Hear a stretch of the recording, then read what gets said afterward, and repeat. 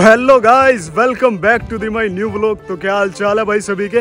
उम्मीद है कि भाई आप सभी लोग एकदम मस्त और भाई एकदम ज़बरदस्त हो गए तो इस वक्त मैं हूँ गाइस तमिलनाडु के तंजावुर ज़िले में और आज मैं आप लोगों को दिखाने वाला हूँ भाई एक हज़ार साल पुराना मंदिर, जो कि भाई अपने आप में ही अद्भुत है, अपने आप में ही रहस्यमय है। और इस मंदिर का मुकाबला गाइज़ दुनिया का कोई भी मंदिर नहीं कर सकता है, क्योंकि भाई ये मंदिर बना ही इतने तगड़े तरीके से है। तो सामने की तरफ़ आपको जो ये मंदिर दिख रहा है गाइज़ इस मंदिर का नाम है बृहदेश्वर मंदिर, जो की भाई भगवान शिव को समर्पित है। और इसका निर्माण चोल वंश के शासक राजा राज प्रथम ने एक हज़ार ईस्वी में करवाया था। और ये जो मंदिर है ना गाइज़ पूरे तरीके से गिरनाइट से बनाया गया है जिसकी वजह से भाई ये मंदिर जो है कभी भी नहीं टूट सकता।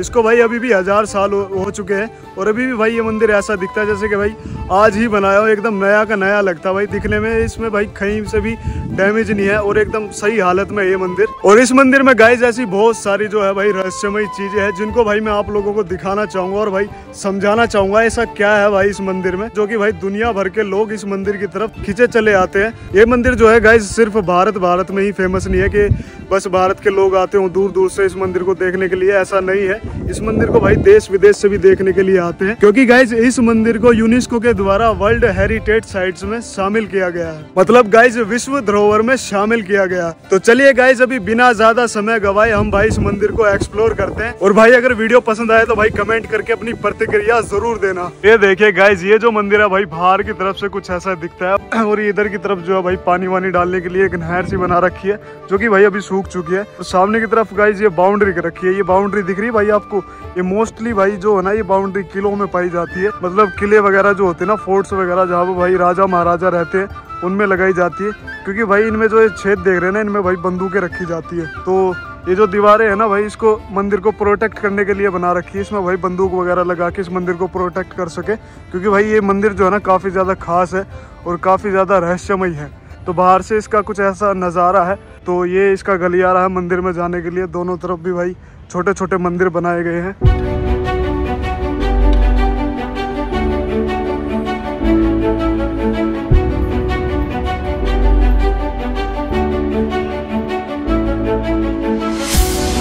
और जैसे ही गाइज़ हम मंदिर से भाई अंदर की तरफ़ एंटर करते हैं तो हमें देखने को मिलता है एक सामने की तरफ़ बहुत ही बड़ा सा गेट आप देख सकते हैं भाई कितना ज़्यादा बड़ा गेट है।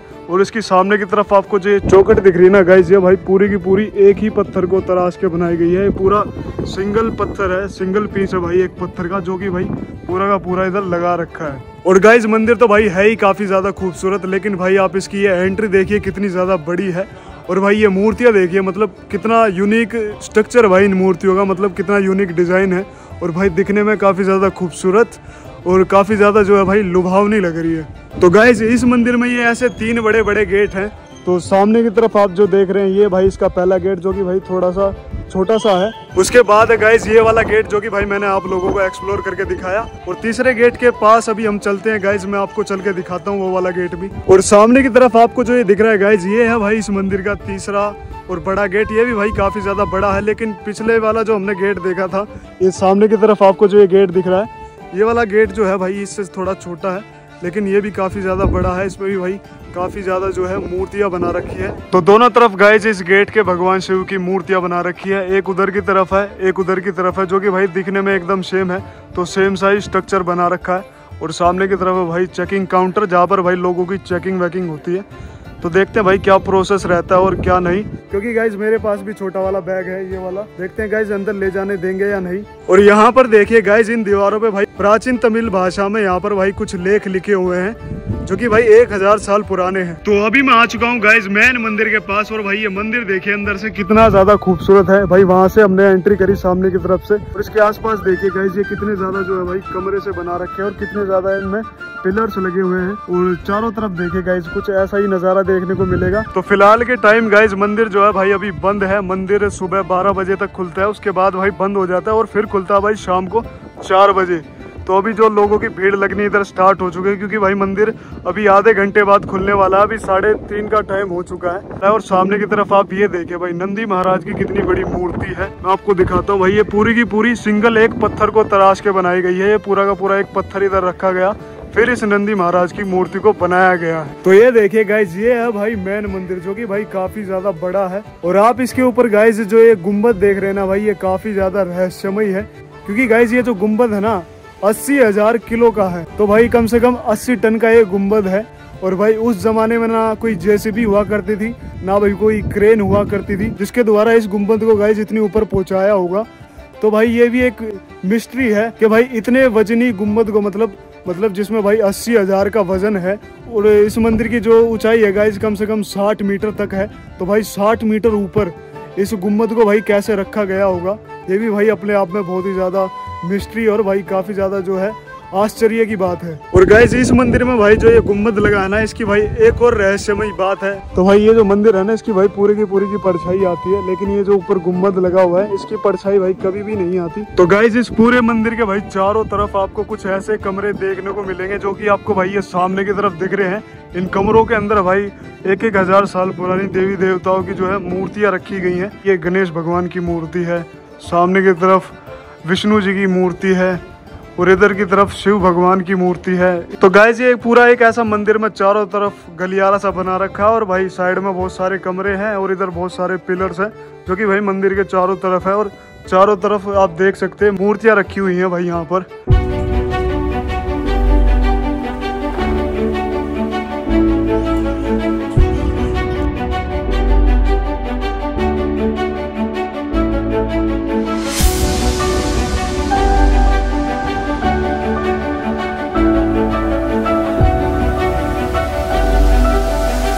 और गाइज़ इस मंदिर को बनाने के लिए ना ही भाई इसकी नींव रखी गई है और ना ही भाई इस मंदिर को किसी सीमेंट या भाई किसी चूने वगैरह से जोड़ के बनाया गया है। और इस मंदिर में गाइज़ आप जितना भी ये पत्थर लगा हुआ देख रहे हैं, ये पत्थर भाई ग्रेनाइड का पत्थर है।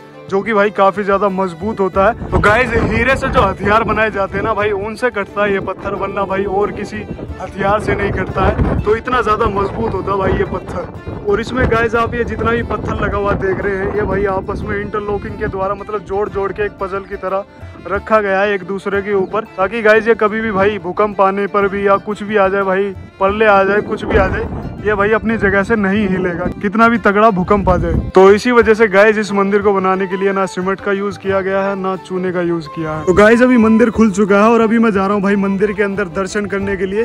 मंदिर का जो मेन गर्भगृह है गाइज़ उसके अंदर वीडियोग्राफी अलाउ नहीं है। तो भाई उधर मैं वीडियो नहीं बना सकता तो मंदिर के अंदर दर्शन करके आता हूँ और भाई क्या क्या है मंदिर के अंदर। दर्शन करके मैं आप लोगों को बताता हूँ। तो मंदिर के अंदर जाके गाइज़ मैं दर्शन करके आ चुका हूँ। गर्भगृह में भाई बारह फिट का शिवलिंग है भगवान शिव का, जो कि भाई काफ़ी ज़्यादा विशाल है और भाई उसको भाई चांदी से सजाया गया है, सोने से सजाया गया है और भाई काफ़ी ज़्यादा खूबसूरत है शिवलिंग। और शिवलिंग के ऊपर जो दूध चढ़ता है ना गाइज़ वो यहाँ से निकलता है। सामने की तरफ़ आप देख रहे हैं एक स्टोरेज सा बना रखा है। मतलब मतलब एक होदी सी बना रखी है। इसके अंदर भाई जितना भी दूध आता है ना, वो इसमें स्टोर होता है। उसके बाद खीर वगैरह जो भी भाई प्रसाद वगैरह बनाने में उसका यूज़ होता है तो काफ़ी ज़्यादा प्योरीफाई करके जो दूध इससे निकलता है, ऐसा नहीं कि भाई गंदगी रहती है इसमें। इसको भाई काफ़ी अच्छे तरीके से साफ़ सुथरा करा जाता है और फिर सारे के सारे दूध को इसमें स्टोर किया जाता है।